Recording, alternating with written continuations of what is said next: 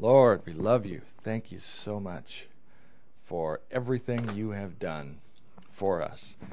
And welcome to Ephesians Vision Ministry, a service we call The Way, 9 a.m., and then we have one other service at 10:30 this morning. There's so much that God's put on my heart that it might end up being two different subject matters, two different services, but uh, uh, it's kind of amazing. Uh, different pastors have different methods, but how God works with me is is I'll prepare a sermon and then I'll come here and and start uh, uh, fine tuning it, and God will say, "Well, we're going to talk about something different this morning," and that's okay. Uh, different strokes for different folks. But uh, thank you for being with us this morning. Um, we want to talk this morning about expanding the kingdom of God. What does that look like today? And why are we still here?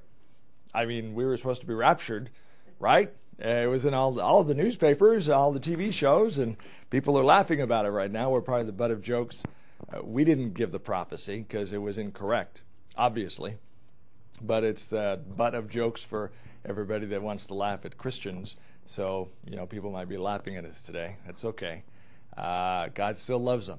God still loves them. Well, the rapture was supposed to occur on the 21st of June. That was yesterday. So, what does the Bible have to say about the signs of the end of the age. Let's go to Matthew chapter 24, and we'll start in verse 1. Uh, signs of the end of the age. Jesus left the temple and was walking away when his disciples came up to him to call his attention to its buildings. Do you see all these buildings? He asked. Jesus said, I tell you the truth, not one stone here will be left on another, every one will be thrown down. As Jesus was sitting on the Mount of Olives, the disciples came to him privately. Tell us, they said, when will all of this happen? And what will the sign be of your coming? And what will be the sign of the end of the age? The disciples wanted to know, and, and, and everybody kind of wants to know when's the end coming? When's the end coming? And when somebody comes up with a new prophecy or with a new revelation, they've studied the Bible and they say, Oh, I figured it out. The world will end. Uh, yesterday. Well, it didn't, did it? Uh, so Jesus answered. Jesus answered in the Word of God. And one of the things that I want to want to tell people, tell ministries, tell pastors, tell anyone that thinks you've got it figured out. Jesus didn't even know. Only the Father knows. So use the Word of God in context. There is a verse in here that says, No one knows the date. Okay? No one knows the date.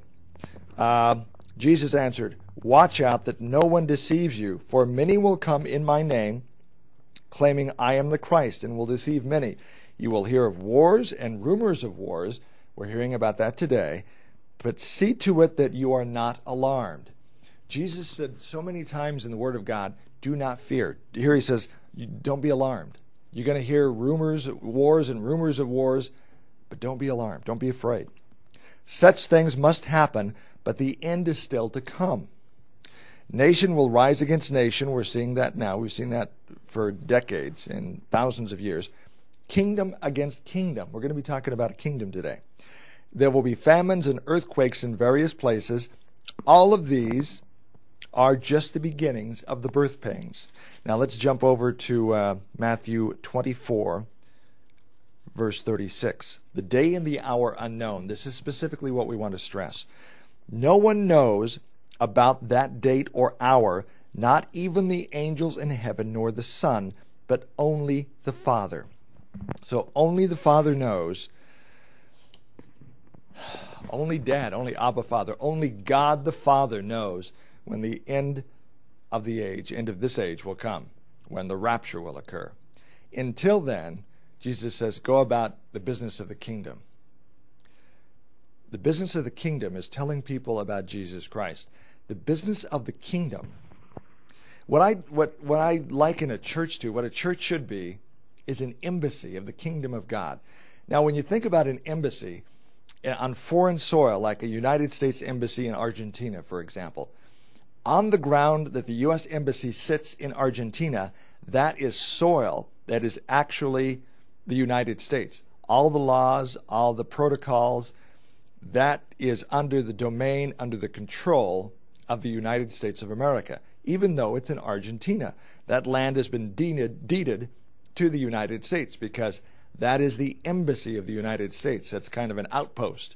And all of our laws apply there. Likewise, when a foreign country has a, a embassy here in the United States, in Washington, D.C. or New York, on that ground, the laws of that nation apply in the embassy. Okay? So, the church should be an embassy of the kingdom of God. We're going to be talking uh, in days to come about the kingdom of God. And um, there have been pastors, preachers that have been talking about the kingdom of God for a long time. I love, the more I dig into it, the more I'm just excited about it. We are here to bring the kingdom. We are here to be a light shining in darkness. And we are here to act as citizens or ambassadors of the kingdom of God. We are here to say, there is a different way. You don't have to be afraid. There is a kingdom. In reality, there is a kingdom that exists today in heaven. Jesus is still alive. I am the same yesterday, today, and forever. The kingdom of God, Jesus said to the disciples, is here within you. So, the church should be ambassadors of this kingdom. So, in the kingdom, all the rules apply, all the laws apply, all the protocols apply. So, the people that are the church, the church is not a building, the church is not a denomination, the church is not a ministry. The church are people like Peter who confess that Jesus is the Christ. And, and uh, Jesus said, On this declaration of faith, I will build my church on people. People are my church. So the kingdom of God, the rules of the kingdom are that Jesus Christ is king. The rules of the kingdom are that healing still applies today. Jesus said, I am the same yesterday, today, and forever. Amen. So, are we going to affect change in the culture or are we going to be changed by the culture? Which kingdom will rule in your life? Will it be the kingdom of the world, which says uh, when you get sick? Now, uh, hear me out on this. When you get sick, the first thing you do is go get medicine and go to the doctor. Now, I'm not saying that's bad, and I'm going to be talking about that this morning. I am not saying don't go to the doctor. So please don't un- uh, misunderstand me. There are times you have to go to the doctor. I had, two years ago, I had three surgeries in one year on my kidneys. So I am not saying don't go to the doctor.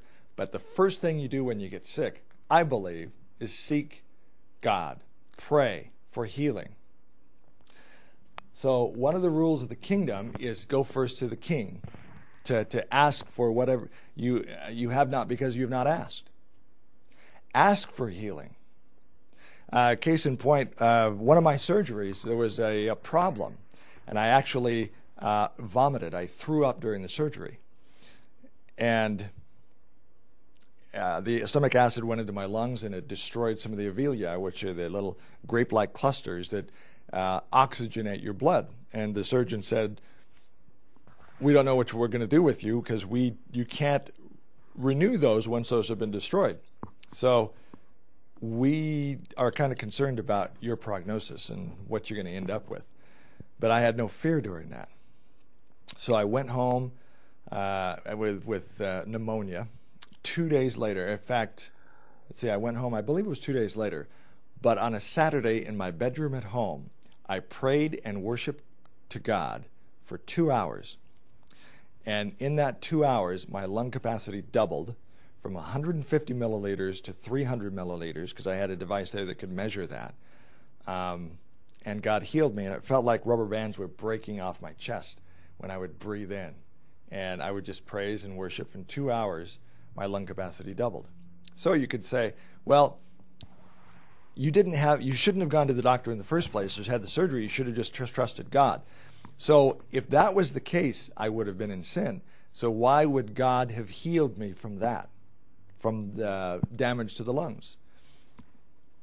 So, in my experience, and I believe the Word of God is clear on this, we are not saying do not go to the doctor. But what we are saying is ask first from the king. Go to God and ask for healing. And a couple of healings that we want to share with you happened here in this building. Uh, the other night, a man came in uh, who had a leg, one leg shorter than the other for 20 years. We prayed. The members of our healing room team prayed for him. And that night in the room, his leg grew two inches. And it was really fun to see because everybody jumped back. It just kind of happened. And it was amazing. And, and just thank you, Lord, for that. The man, I t- we talked to the man uh, just the other day, days after this happened, legs still longer than it was for 20 years it was short because of an accident he had. And uh, praise God for that. Just, just praise God. Another healing that happened was a man uh, who had injured his shoulder very severely, and he it hurt so bad he couldn't sleep, and he went for days without sleeping. The last time he injured it in such a way, uh, it took months to heal. And so they called for prayer and they said, you know, we, he said, I, I need my sleep. I really need my sleep. So we prayed. Two days later, in fact, I got a call last night from the man. Uh, and he was saying, I just want to praise God. And I said, Well, what's going on? He said, It's totally, completely healed. He said, I can wash my hair. And before I couldn't even sleep, but now I can wash my hair. I have full motion of my arm. And praise God. It, it, he just kept saying it over and over again. Thank you, God. Thank you, God. Thank you, God. Praise the Lord. So, in the kingdom, the rules of the kingdom apply. In the kingdom, when you go into the presence of God, when you're under the lordship of Jesus Christ, kingdom rules apply. One of the rules is that Jesus says, I am willing to heal. Every time in the Word of God, when people came up to Jesus to ask for healing, he said, I am willing. He never said, well, you need to suffer a little longer. Or uh, Jesus never said, well, you've got a thorn in your flesh. And there are people that believe that since Paul had a thorn in his flesh, that God is sending disease to correct us, to grow us in our character, grow us in our faith. I don't believe that God sends any diseases or calamities. One of the things that angers me is when insurance policies write act of God in their policy. It is not an act of God. It's it's uh, casualty of sin in this world. I believe God can use what the enemy designed for evil to use it for good, but the evil does not come from God. There is nothing evil in him. Pontius Pilate said that about Jesus. I can find no, nothing wrong in him. This, this man has no sin. Uh, but we crucified him anyway. That's another story, another sermon. So, the kingdom, the church needs to be an embassy of the kingdom of God. So, when people come into a church, they should find fruits of the Spirit love, peace, joy, faithfulness, long suffering. They shouldn't just find a social club. They shouldn't just find a motivational sermon to, to try to get them through the next week they should find that the rules of the kingdom apply. And the rules of the kingdom are that Jesus Christ died for you, Jesus Christ loves you. And they should feel loved into the family of God. Um, Jesus said, If you have not love, you have nothing. You can talk with tongues of angels, perform all kinds of miracles, do all kinds of stuff. If you don't have love, you have nothing. First comes love. You, you demonstrate the love of God. You show the love of God in a situation where it's not warranted or deserved, more importantly. Let's say someone's wronged you. You show the love of God. And sometimes you have to pray for that.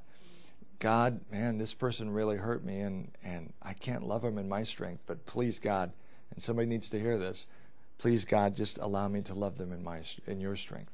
Allow your love to flow through me and let me love them like Jesus did. You pray that prayer, and God will, I believe, equip you and enable you to do that. So as people come into the embassy, they're under the covering of the kingdom, under the kingdom of God. Uh, so churches all over the world should be little embassies where kingdom rules apply. And it's not a social club, it's not a clique, it's not um, a motivational sermon. I went to a church one time, I'm not going to tell you which country it was or where it was, but they did not mention the word Jesus or any scriptures during the entire sermon. It was like going to a motivational sermon. So I went up to the pastor afterwards and I said, "How come you didn't say Jesus or or um, quoting the scriptures?" He said, "I I wanted to hear scriptures." And his answer really was interesting to me. It's, "Well, we want everyone to feel welcome." And we don't want to offend anyone, and we want to bring them into the kingdom, but we're afraid they'll be. We're afraid. Do not fear we're afraid they'll be offended. And so we purposely kind of keep that very low key. Jesus said, Blessed are those who are not offended in me. Jesus came and he had a lot of things to say to the Pharisees and the Sadducees. He cleared the temple, he flipped over the tables of the money changers, and he said, My Father's house shall be called a house of prayer, and you've turned it into a den of thieves. So sometimes the Word of God is correction. Sometimes people might be offended by it. That's okay. The father disciplines the children he loves. If you have children and you never discipline them, what are you going to end up with? You're going to end up with out of control kids, aren't you? A father and a mother, but a father disciplines those he loves. So it is with the Word of God. Jesus said, I want to say that again Blessed is he who is not offended in me. There are so many uh, if I offend somebody, I ask your forgiveness. But there are churches, Christian churches, that will not, such as this church did, talk from the scripture, quote scripture, or use the name of Jesus Christ because they don't want to offend anyone. We are coming to a time and date in this uh, world where the battle lines are going to be drawn. And you're going to have to be hot or cold. You're going to have to be, I'm a Christian and I follow Jesus Christ. And you'll have to make a choice. You won't be able to sit on the fence. And some Christians today are fence setters. I wasn't going to say this this morning, but I feel led to. Some Christians are fence setters, and on Sunday morning from 10 to noon, I'm praising God and just everything's wonderful and good. And Monday morning, I'm just kind of, hey, you know, telling dirty jokes in the office and uh, doing all kinds of stuff. And hey, yeah, let's go to wherever. Jesus is pretty explicit about that. Uh, be either hot or cold. He also talks to one of the churches about you've forsaken your first love. You loved me, and that love for me has grown cold. Somebody needs to hear that this morning. Um, Jesus wants you to go back to your first love. So I believe we're coming in a time and place where you're going to see more and more churches that are hungry to bring in people, that are hungry for tithes, offerings, but that are hungry to bring in people. And the devil is going to say, well, you need to, to attract them, you need to market. That's another thing that I believe is an error in the church today. You want a church growth strategy that works. You preach the kingdom of God, you become an embassy where the kingdom of God rules apply, where healings occur, where the power of God is displayed, and the people will come. Now, initially, when you start to do this, there have been churches that have done this, that have just gone full bore into the kingdom of God, and some people are offended and they lose membership. Church, in particular, in Redding, California, Bethel Church went through this, where a lot of people were offended and a thousand left. But they kept true that this is what God is telling us. This is where we need to go. And we are here to please God and not man. And that church is one of the strongest, most uh, charged down the path of, of following God uh, uh, churches on the planet. And people from all over the world are going to Redding, California to Bethel Church. But that's an example of a church that said, we're going to follow Jesus Christ. And if people are offended, we'll love them, but we are not going to compromise the message of the gospel. And this other church I was talking about was willing to compromise the message so that people were not offended, so that the people will come. Sometimes people need a word of correction. Um, and don't be afraid to give that. We need to speak the truth in love. We need to speak the truth in love, but we need to not be afraid to use the name Jesus Christ. For example, uh, uh, one of the outreaches here is called the Jesus Network. It's a news network for Christians. And God specifically told us to call it TJN, the Jesus Network, because that, if you can't say the word Jesus, you can't say who we are. And that's who we should be as Christians. We are Christians, Christ like. Christians, Christ, Jesus. We are all about Jesus Christ. There's so many things happening in the world today that want us to compromise that message. And legally and otherwise, well, we don't want you to talk about Jesus. We kind of want you to play that down a little bit. And like with the Jesus Network, we can't do that. That's who we are. And as Christians, we should have that same mindset. That is who we are. We are Christ followers. We are Christ. Um, Tommy Tenney has a, did a book and has a uh, ministry. He's the God chaser. And I love the man's heart, and I read a lot of Tommy Tenney's books. Um, he's a God chaser, and we need to be God chasers. We need to have a heart like David, and, and we need to chase after God. So, we're still here. so, what we need to do is the embassy is still open. Okay? We're still on the planet. The rapture didn't happen. Some ways, I wish it would have. Amen. That would have been fun to be on the streets of gold, and, and we're going to go there someday. If you're not a Christian, you want to go there someday, we'll have a chance uh, at the end of the sermon to, um, to pray the sinner's prayer, or in other words, to accept Jesus Christ into your life. So, embassy's still open. We're still on the planet. It's the 22nd, and we're still here. Okay? We need to do the work of the kingdom. The work of the kingdom is spreading the good news that someone died for your sin so you don't have to. The good news is that Jesus Christ loves you so much. He went to the cross, died, was in the tomb for third, three days, rose, seated at the right hand of the Father, and because he did that, when you die, you will instantly be in the presence of God. A relationship with Jesus Christ is more than just fire insurance. Some people treat Christianity, and some people are what we call CE Christians, Christian and Easter. They go to church on, Christian, or on Christmas and Easter, and the rest of the time they just kind of pay their uh, um, fire insurance policy. Well, I've got I've got I've got a card here that says I'm a Christian. I have a certificate here that says I was baptized this one day and got my fire insurance policy paid. I'm going to heaven, but in the meantime, I'm going to have some fun over here. Okay? Uh, that's not what Jesus said. And you're missing so much. The Christian life is, there are so many people that are afraid that they'll lose so much. They won't be able to party. They won't be able to do whatever, do the lifestyle that they had because they have to follow a book of rules now. But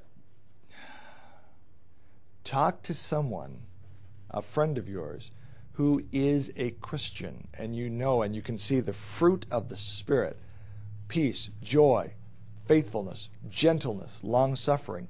You can see the fruit of the Spirit in their life and ask them why they're a Christian. And especially if there's um, occasions in their life before they were a Christian where they led, you know, a partying lifestyle. There's such a man uh, by the name of Tom Flaskerud and we are going to be having an outreach in Bend with Tom, and it is going to be on, I believe, June. Here's the poster, uh, June 25th at 3 p.m. Um, just south of McMenamins, east of Troy Field in downtown Bend. We have some posters here, and um, we can have them for you. We can give them to you so you can set them up over, um, display them around town. Tom was an outlaw biker and he led the lifestyle. He did some stuff that he's not really proud of. The, the woman who is his wife right now, he kidnapped, and the family, her family was afraid to come get her because they were afraid he'd kill him. And so he was an outlaw biker and led, led the lifestyle, headed an outlaw biker gang. He was convicted watching Billy Graham while uh, drinking a beer and eating potato chips and laughing at Billy Graham on the TV. And God, the Holy Spirit, convicted him right there, and he knew that he had to make it right. And now uh, he's a wonderful man of God. He takes the, the Freedom Team. The Freedom Team is a, a team that bends uh, bars of steel in their teeth. Um, they um, uh, blow up hot water bottles, uh, rip phone books, fold frying pans, that kind of thing. Um, and they're going to be in downtown Bend June 25th, and he'll be able to share his testimony of what uh, what it's like to follow Jesus Christ. So he knows what it's like to have that lifestyle, the parting lifestyle, but he knows what it's like to sit at the banquet table in the kingdom. And he will tell you that the joy and the peace that he has in the kingdom do not compare with the world. See, the things of the, of the devil, the things of the world, are fleeting. They might bring you pleasure for the moment, but it doesn't last. Look at drugs. Look at uh, sex out of marriage. If you have sex with so many partners, eventually there's a price to pay. In damaged relationships, there's a soul tie that happens during sex, and um, people are hurt, and sometimes they get illnesses from that. Um, in the drugs, the problem with drugs is they, you, you get addicted to them. They want more and more and more and more and more and more. And eventually it can and usually ends in death. If you've looked at somebody on meth and you look at a picture before and you look at a picture after they've been on meth for several years, you can take a picture of like a, a very handsome young man or a very, very beautiful woman and she'll look like she's 80 years old. It's in, it's incredible. And Bill and Beverly have been in jails and prisons, and they've seen this. And if you've seen posters, the before and the after, man, meth is just such a uh, graphic example of the power of the kingdom of darkness, another kingdom, and and the lies, because meth is an extremely addictive drug. The the um, the rates of addiction, I believe, are like 95 percent for first time users. And once you take it, it's such a high that you just want it more and more and more and more. So don't try that. However, I've met people that through the power of God, uh, I've met people I personally know that that accepted Jesus Christ, and then they took the drug, and the drug did not have the effect on them that it did before. There's something that's been cut because they have entered into a different kingdom. They've entered into, into an area where they're covered by a different set of rules. And I probably there's there's a woman that I know that uh, when she was young she tried marijuana. So after she accepted Jesus Christ, she tried it again. And she said it didn't feel the same, didn't feel good. It just didn't have that same thing. I couldn't enjoy it because she was in the kingdom a different set of rules apply. So, when you're in the kingdom of God, a different set of rules apply. What we want to see in church, what we want to see, and the reason why we call this the way, the Sunday morning service, the way, is we're very, very eager to return to the power and the authority of the gospel as there was in the early days of the church when it was called the way. So many times in church today, and from so many people who have tried church. In fact, we did a man on the street interview a while back, and people said, "Well, I pray, and it just doesn't seem to be good any good." And I go to church, and it doesn't work for me. It doesn't work for me, is what we heard a lot, um, and that's sad. If we look in the early days of the church, if we look uh, when the, the disciples were alive. Um, there were days, like in the sec- after the uh, second chapter of Acts. I want to go there. Let me jump. Let me take a little bunny trail here. Do do do do do do do. When the when the Holy Spirit came at Pentecost, and the tongues of fire, the Holy Spirit came. Jesus said, "Wait here in Jerusalem." For the Comforter. Wait here. Wait here. Do not, it says in Acts chapter 1, verse 4. On one occasion, while Jesus was eating with them, this is after he'd been crucified, rose, and came back again to the disciples, uh, Jesus said, He gave them this command Do not leave Jerusalem, but wait for the gift my Father promised, which you have heard me speak about before. For John baptized with water, but in a few days you will be baptized with the Holy Spirit. And he went on to say in uh, verse 7 He said to them, It is not for you to know the times or dates, or the Father is set by his own authority. And this again kind of reverts back to the fact that we were raptured yesterday. Jesus is again saying here on a second occasion that only the Father knows when the end of days will come. Let me jump back to uh, verse 6. So when they met together, they asked him, Lord, are you at this time going to restore the kingdom to Israel? Jesus said, It is not for you to know the times or dates the Father has set by his own authority. But, key here, kingdom power key, kingdom key, get this. If you don't hear anything else today, hear this. You will receive power when the Holy Spirit comes on you, and you will be my witnesses in Jerusalem and in all Judea and in Samaria and to the ends of the earth. There are so many people that are preaching today that the Holy Spirit came in the early days of the church to essentially jumpstart the church, get it started, and now we're in the church age and the Holy Spirit's kind of off there somewhere and he's going to come back. Nowhere in this book does it say the Holy Spirit left the planet. The Holy Spirit fell on the believers in the second chapter of Acts, Pentecost, and he is still here today. And the thing that just really excites me is uh, the power and the authority that these men walked in after the Holy Spirit came upon them. And as we look at the fruit of that, as we go to Acts chapter 2, verse 41, those who accepted the message of, of Peter were baptized, and 3,000 were added to their number that day. And if we go down to chapter 47, and as we talk of the fellowship of the believers, praising God and enjoying the favor of all the people. And the Lord added to their number daily those who were being saved. Daily, the church was growing because the, the Holy Spirit was there. They saw it in evidence in the power. They saw the tongues of fire resting on people. There have been reports.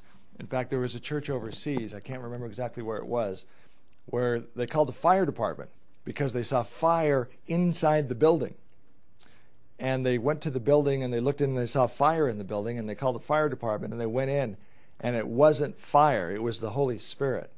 And these people were praising god. It's amazing to me that we see so many more miracles and so many more evidences of the power and manifestation of god. Not that we're seeking those signs but those happen when people just run after god some people are afraid to seek those signs because they think that you're worshiping those signs. No, it's just an outward manifestation of what happens when you just chase after God. So the Holy Spirit fell, and people were being added by the thousands to the church. People were being healed. The disciples would walk by, uh, and the shadow of Peter would walk, would fall on a person, and they would be healed. They had words of knowledge the disciple would, a beggar would come up to a disciple and, and expect money with his hand out. And Peter would say, uh, Silver or gold I do not have for you, but what I have in the name of Jesus Christ I give you. Uh, I believe that was a, a lame person. Pick up your mat, pick up your mat and walk. I do silver or gold I do not have, but what I have in the name of Jesus Christ I give you. Pick up your mat and walk. Uh, as we look, we have a um, illustration here about the heritage of healing. It's a poster, and it talks about the healing evangelists. And way back here in the early church, from 33 AD to 400, healing was a normal part of the everyday life of the believer. And what happened was in the medieval ages, from 400 to 1530, um, when darkness came upon the earth, the gifts of healing were not demonstrated as much. But in the early church, for 370 years, 363 years or so, healing was a part of the everyday life of the believer, as it was in the early church. So, oh Lord, we are hungry. We are hungry to see your power manifest in this in this world. We are hungry to see churches of Jesus Christ as embassies. What I think we need is a redefinition of what church is.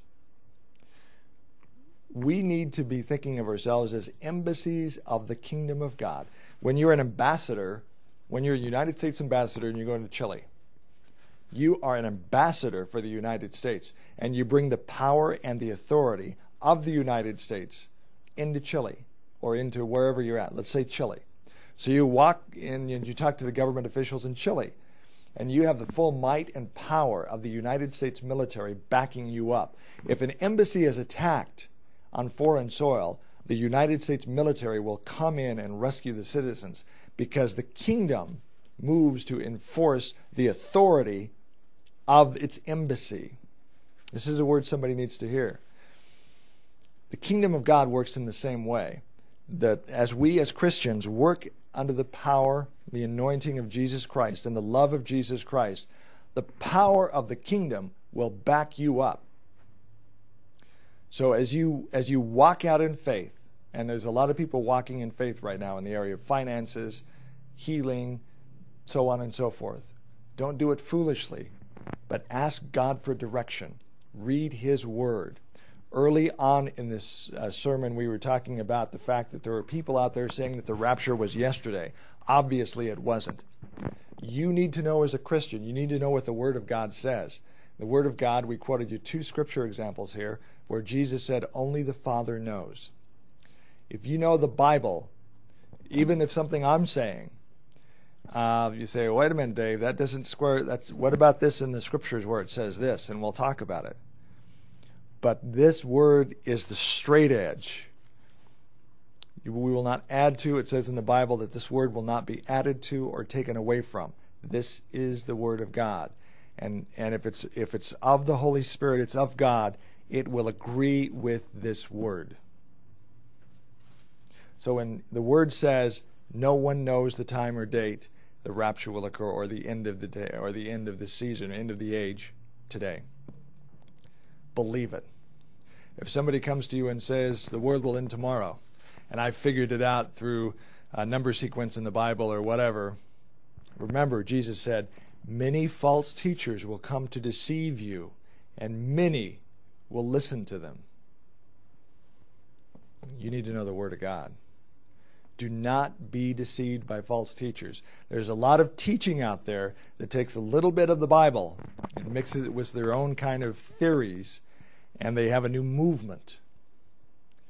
If you get involved in, in following a charismatic leader, you need to know your Bible so you are not um, led astray, so you are not deceived.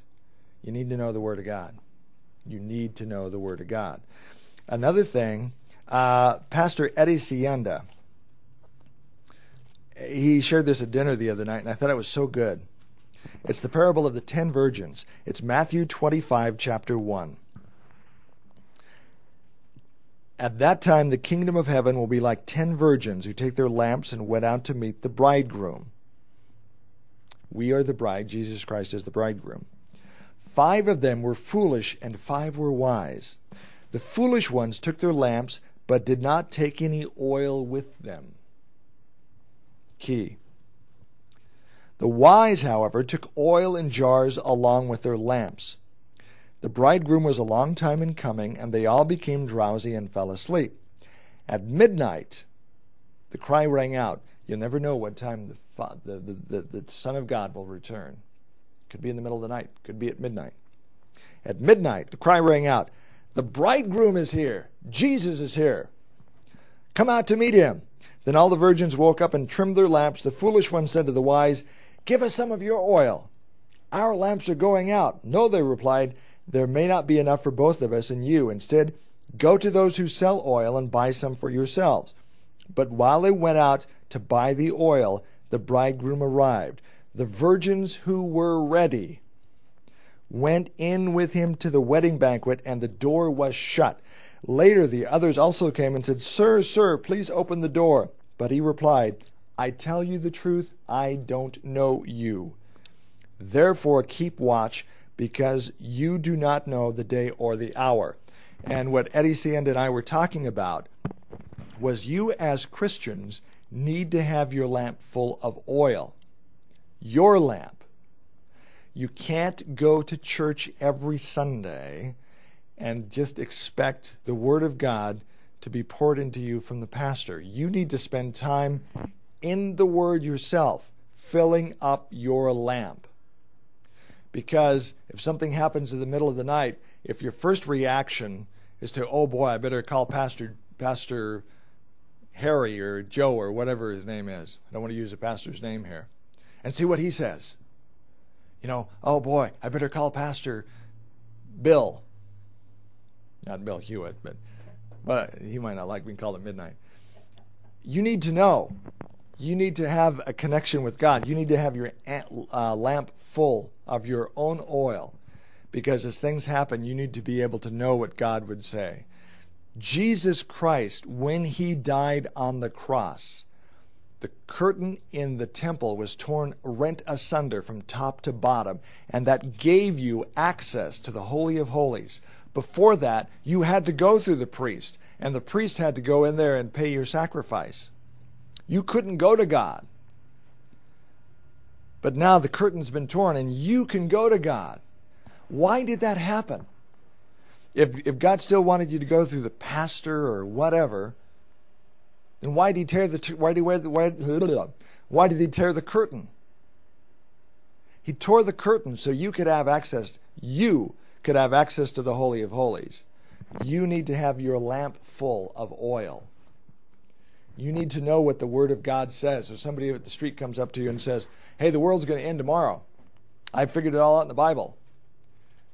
I hope your answer is, Well, let me call Pastor Bill. Bill, is that right? Somebody told me that, that the world was going to end. Nope. See, Bill is only one person, and if everybody in Bend is calling Bill because they want to know what Bill says, he's not going to be able to answer them. If God can number the hairs on everyone's head, he knows what's going on in your life. If He tore the curtain in the temple asunder so you could have access, He wants you to have access. So if your first reaction is to, I better call the pastor, no. Your first access is, okay, what does the Word of God say? And what does what is God telling me? What do I hear in the Holy Spirit? Now, the amazing thing about the Holy Spirit, and let's talk about this a little bit. There are some that say, well, if you just have everybody doing their own thing, it'll be chaos, and we have to have control in the church. I believe that is a Pharisaical and Sadduceical spirit because what I've experienced is when you get believers together and they pray, and we do this a lot in this ministry, is um, here's what I'm hearing. You go and pray and see what you're what you're uh, hearing. And so many times we'll come together and we'll say the exact same thing. Because as we believe that the Holy Spirit and God, but specifically the Holy Spirit, is a big enough God that he can control the church himself, thank you very much. It is Jesus' bride. It is not the pastor in control. It is the Holy Spirit in control, and someone needs to hear that. Okay, I'm not being critical of pastors. I'm a pastor. And I'm not saying don't listen to your pastor, but what I am saying is you need to have your lamp oil filled with your own oil. You need to spend time in the Word of God. Your relationship with God is not a surrogate relationship. You can't say, well, you know, I'm really busy having a good time and I want Bill to do all my Christian stuff. A lot of men do this with their wives. Well, she goes to church, she does the church thing. I'm going to go out, I'm going to stay home watch the game. Ducks are playing today, or the Beavers are playing today. Let's see how many people I can offend right now. Um, God is saying, I want you to have a relationship with you, with, with me. I want you to know me, and I want to know you. And I'm not saying it's bad to watch the Ducks or the Beavers or the Boise State Broncos. I love the Broncos. Love the Broncos. Uh, and I love football and basketball and, and uh, all like that. But you don't put that above. If you're, if you're saying, oh man, I hope church gets over because I got to go watch the game,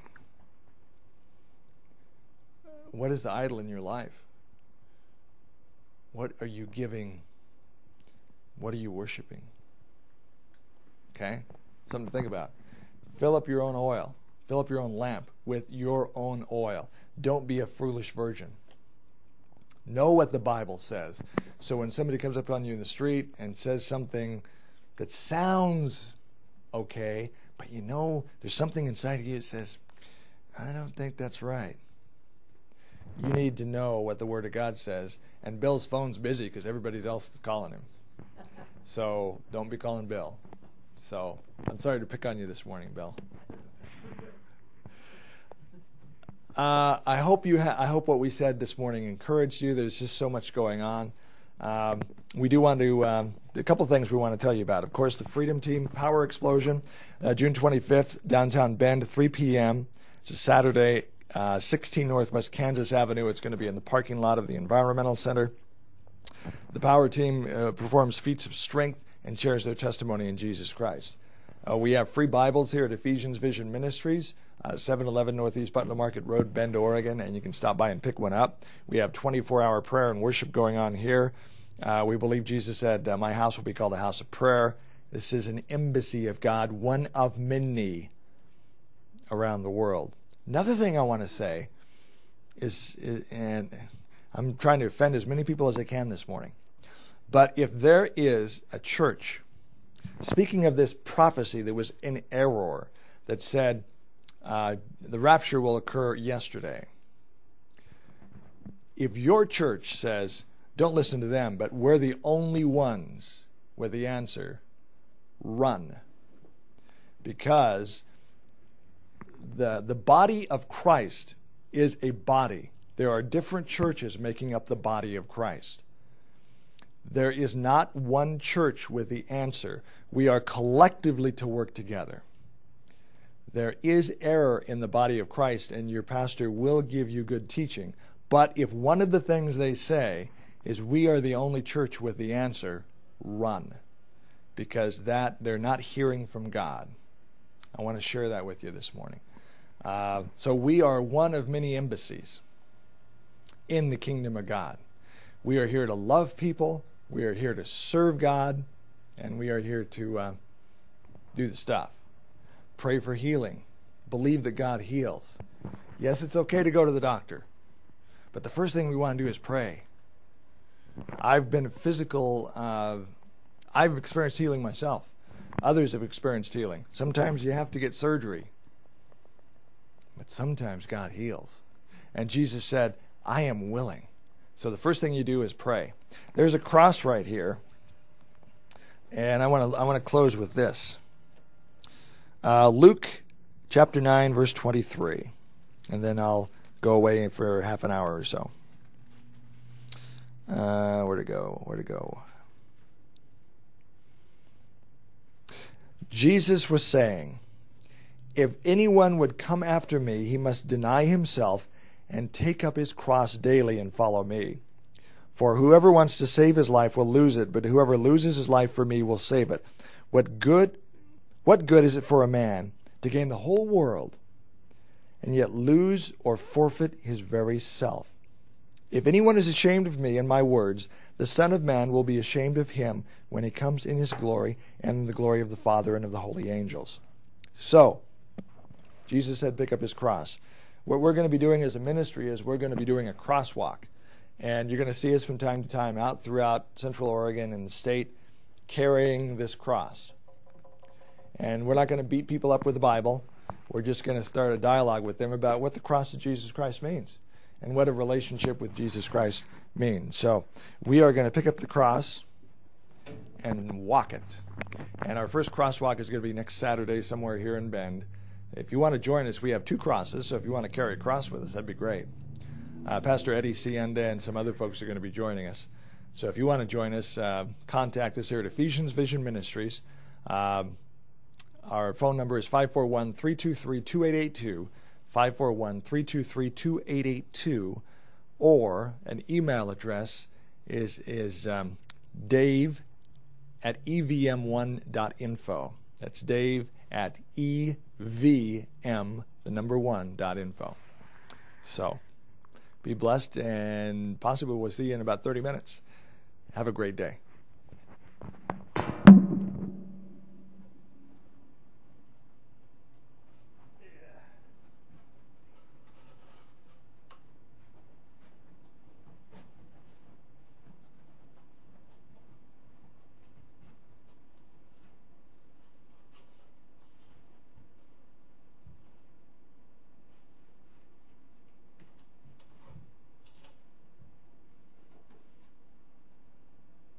Lord. And all of God's people said, Amen.